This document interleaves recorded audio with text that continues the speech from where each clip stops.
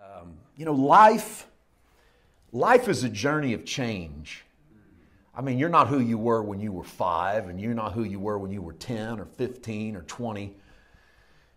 You're not who you're going to be in 10 years. You're a, you're a semblance of that, but you're not completely that because you're on a journey. Life is a station of stops and goes. It's learning a little bit, processing what we learn, filtering out what isn't useful for us, and then moving on with that information and then learning a little bit more.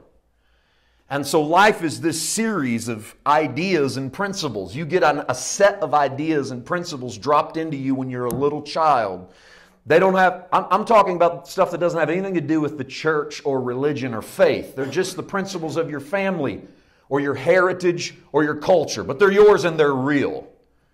And then you grow up and you start to work out those ideas and those principles. Some of them become your ideas and principles, and some of them you say, that was dad's idea, that was mom's principle, and you abandon them. And then you meet Christ and you come up with a whole new set, and you realize that half the ones mom and dad taught you, Jesus teaches. You know, like don't punch your neighbor in the face and quit stealing his money and don't lie to him. And you go, hey, that sounds familiar. Sounds like my dad.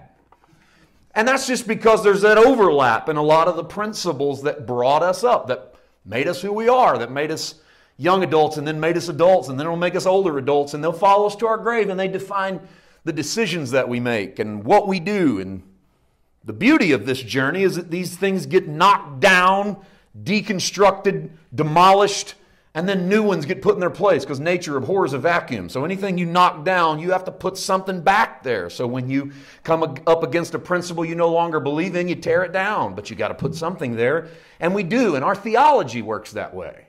We have an idea, maybe we read a verse or we see something about God we believe, and then that gets deconstructed, it gets knocked down. A sledgehammer gets taken to it. And then we have to reconstruct something in its place. And that process goes on and it goes on over and over and over again. That's a beautiful thing. That's not a bad thing. That's it can be tiring. It can be a little exhausting. I, I, know when I come into a revelation of grace that God loved me and that He approved me and that He wanted to be a part of my life and that He didn't need my help, that His grace could do all the work without Paul White doing the work. Paul could only believe. Well, I had to deconstruct a bunch of stuff. I had to take a sledgehammer to a whole list of theological principles and ideas that had defined me as a preacher and as a husband and as a dad and as a man of God had to knock them all down. Well, that, there's a vacuum, so they had to be rebuilt, and I had to start reading the Bible again, and maybe even differently, and change my lens a little bit, and see that maybe it wasn't all about what I could do for God, maybe it was about what God had done for me. And if I read it through that lens, I might see things through a different light. Well, how many of you know that as you're on the journey of knocking stuff down and building stuff up, and that requires a hammer change, by the way. So you can knock stuff down with a sledgehammer, but you don't build a house with a sledgehammer. So you got to back off knocking people, knocking stuff down once in a while, and you got to rebuild something. But on that journey, it's easy to get mad at your old self.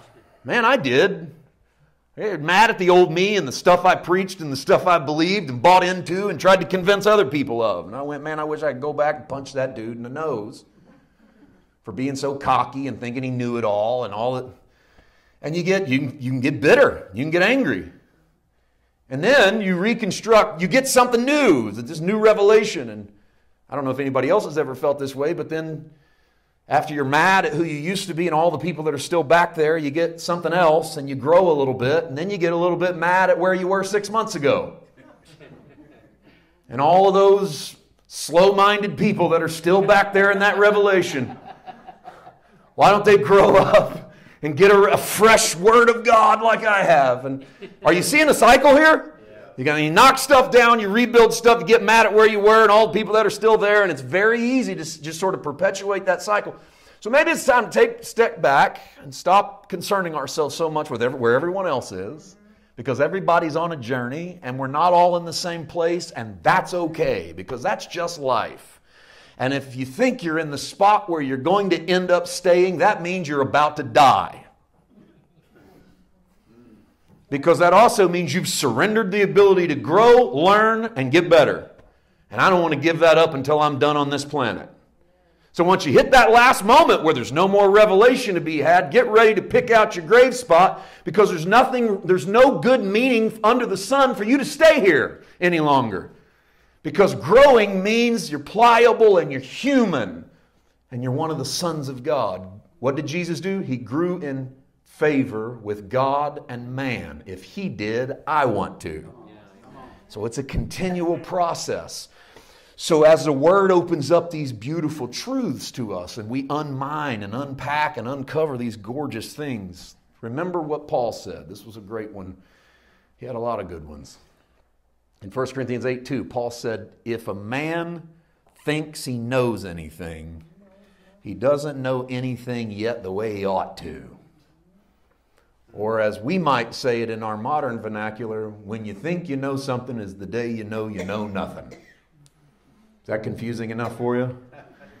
Keep learning because when a man thinks he knows, the one thing he can be sure of is he doesn't know what he ought to. I love that, that he uses the phrase ought to. In other words, there's a bunch of stuff you should know that you don't know, so quit acting like you know a bunch of stuff.